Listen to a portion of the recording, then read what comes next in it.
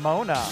So I'm actually surprised that he's going Zelda because he does not like this matchup. This matchup is very, very just bad. telling me that Bad you, for Zelda. you were bringing a frog home every now and then and driving him nuts.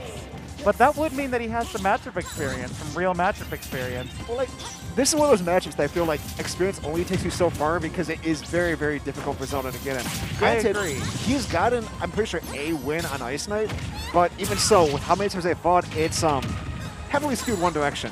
Well, and Greninja's definitely one of those characters where player expression really uh, can be seen and felt. Like, no two Greninjas really do the exact same Right. gameplay every time, and that's partially because of his unique, like, movement. He Right. jumps high, he, uh, he doesn't move like any other character, so you're able to do a Yeah. lot more with him, Yeah, the frog is bouncy. Who would have thunk, right? right? So that's a lot of frustration, especially for Chicago as well. I'm sure most of the top level of Chicago knows it because we have so many Greninjas and they don't play like one another. Correct. Not only do you have to know the matchup, ooh, that was actually a good catch with the two frame. So that's kind of like where we're at with this. That kind of like probably explains it, right? If Zelda can hit her stuff, it's nice. That said, even though each Greninja plays differently, there are global properties that you can exploit. Exploit. He's taller. You know, uh, that moment where he's hooked up a little bit of, of ledge, you can Yeah. get that set up. That's not going to be on every character, but if it's something that you can do on Greninja, Right. it's huge. Greninja has like this really weird property of if he's on the ground, he's tiny, he's short. The second he's in the air, he's tall. Uh, isn't that a Sheik problem too? It's it's the arthritis. Yeah. Right. A lot of these up Bs are actually hitting. I'm surprised by that. I'm Right. wondering if Mona's going to adapt to that. Uh, right now, though, Yashill really has some control going on here. really just amazingly planting uh, center stage and not letting uh, Mona really Right. get any ground until I say that. Even there, though, I feel like that was just like a free kill they just took a grab for instead. Yashill's going to take a grab and get the kill, though. Right, and I- don't believe Greninja grabs are ex extremely threatening. No. But Zelda, on the other hand, has a pretty threatening grab. Everything that she does is actually pretty threatening. Oh, it's just that it's committal. it's very like like that death Right. trap right there. All right. Want to get the first stock, first 6% of the last stock, though. This is not exactly an ideal situation. No. It's doable. It's Smash Ultimate. It's always doable. But I would be sweating a little bit right now if I were Mona. yeah, I'm playing the counter pick at this point. Are you? No, I'm not. I'm going back to PS2. All right. Yeah, there's a good counter. Yeah. Mona's been going for a lot of the counter there. Oh, okay, Oh, cancel. Beautiful, beautiful lightning kick. Yeah, I love to see that. That's um, it's funny, right? Because I will see that constantly just playing against Yashill all the time at home. I am very familiar with the cancels that he goes for, and I know exactly what to look for for the setups. It's funny to watch people that are not familiar with the setups because I'll, I'll see it coming a mile away, right? And I'm like, oh no, no, Oh my no. gosh, he fell for it. don't you just play with this person constantly all the time in your living room? No, don't no. you just have that experience? Why don't you? because I don't, I don't really play this game all too much. Oh, no, Like, you- no, no, you are the one who had that experience. There- you're- oh. I was, oh, I oh. was Saris in that moment. oh, oh, you're right, right. I'm you sorry. were judging other people. Am I blind in that situation since you're serious? Yes. Okay. Yes. Hi, Okay. everybody. My name is ETS Saris, and I am your commentator this evening. And I am You're Blind, and we're going into game two. Oh, oh, this was the wrong pick.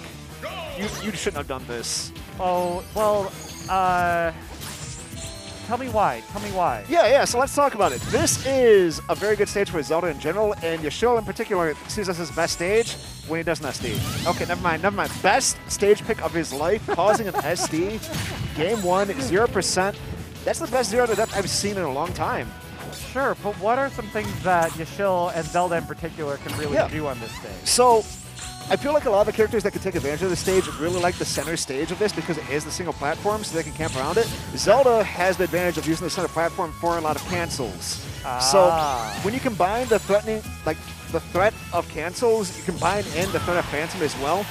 This character can hold down the stage in general because, like, that was from past center stage, and it still covered the remainder of the stage. Sure. Phantom co- controls a lot of the space, but right now Mona is in control because of one, the SD, and two, kind of adapting here. We Well- like to see it. This is sort of a zone of safety right here under that platform, and whoever controls that controls the map. Right, I would agree. Uh, and I don't r- recall Zelda's options coming down from above outside of maybe a committal Nayru's Love really being safe Right. to challenge that sort of zone. So this will be a, an uphill battle for Yashill as Mona's staying in that uh, Right. protected zone. The one thing I'm not liking at all is how much Yashill is really pushing in here. It just seems a little bit excessive here. Like, slow it down just a little bit, throw the knight out. What's Sure. gonna, like, the most that Mona has shown that he's gonna do against the knight is go for, like, a counter. Right, Like, right there, he's gonna jump, but it delays down. No one really loses on the situation. But the second that Yashill pushes in, he's starting to lose a little bit. I see it. I see it. All right, That good being setup. said, like Yashill's doing a, making a lot of work Oh. happen with this last stock, Right. right? Like Yashill's not out of this yet by any stretch of the imagination. All right. So, the one thing I always say about Zelda, right, is that the way I view Zelda is a high risk, high reward zoner. Sure. Because she does have the zoning properties, but everything is just so explosive. Even the back throw, like right, like you saw right there, not exactly a high percentage, and still getting the kill with it. But it just everything is either not quite as fast as you'd like it, or not.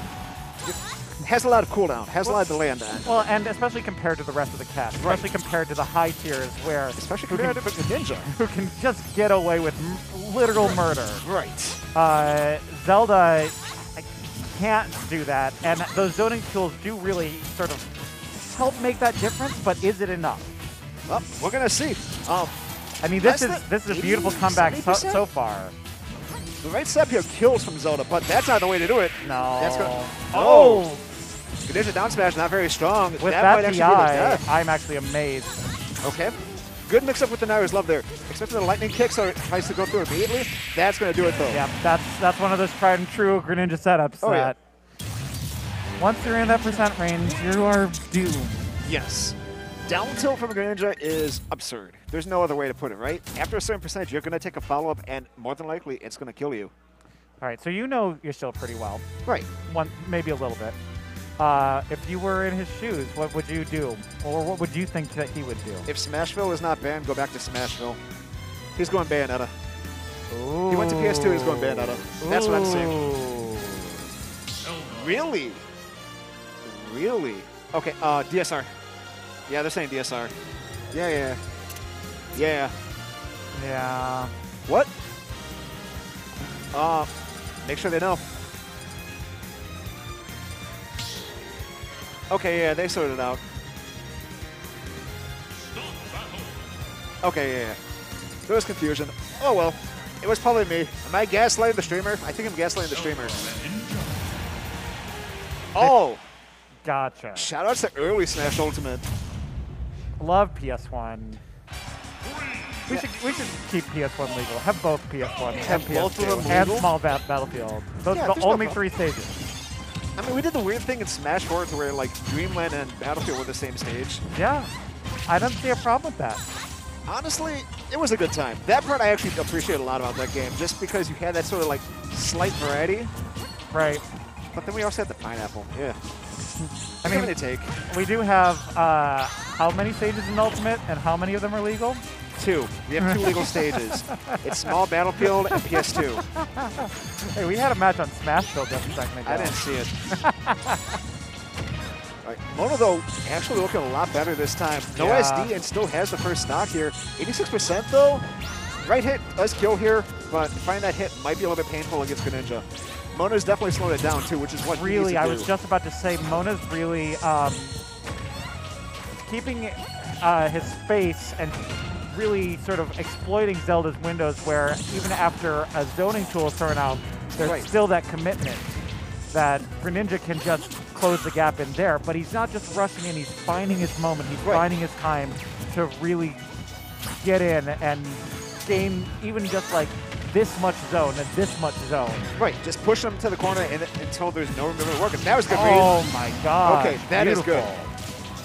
So Mona's definitely playing this similar to the way that I approach the matchup with Greninja myself, is that Zelda in eventually does have to commit in some sort of way. If you don't commit and you force her to do that over commitment, then you're going to win the matchup.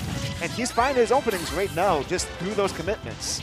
So I'm not sure if Yashill can bring it back at this point, have, being two stocks down, 61% the last stock. Even though we get up B, that's not going to do it here. That's that's unfortunate because that would have killed right there, right? Right.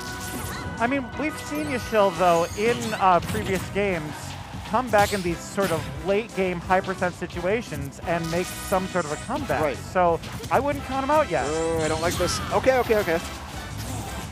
Still sitting at three stocks though. Mona just still poised to take the game. Sure, absolutely. This is not looking great, but I, No. I, I have faith. I have some faith. I have faith that he's going to take a stock, but okay, he misses the shield break step too because that was a right there.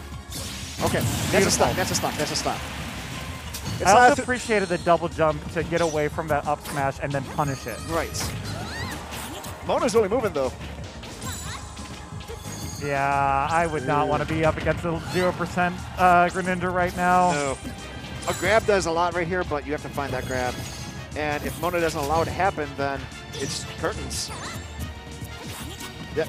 Mona's still playing the game, right? Uh, Yep, Just yep. stay away, look for the openings. Yashill's wisened up a little bit to where he's not going to give those openings as much. And that's good to see, but this might be too low too late. That's it.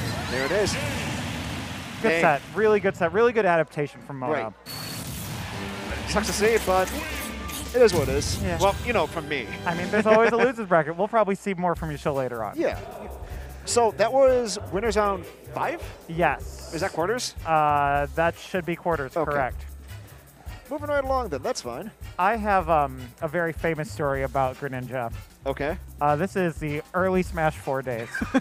and uh, Is I. this like is this I- like the Smash 3DS days? No, or- no. we- okay. We were on Wii U, and Okay. we were. I was. I was up and coming on the tournament scene. I was uh, power ranked at the time. This is Oh, ancient imagine. history. Ancient history at this point. Um, and I was up against this Greninja player, and I had faced zero Greninja players Right. at this point. And I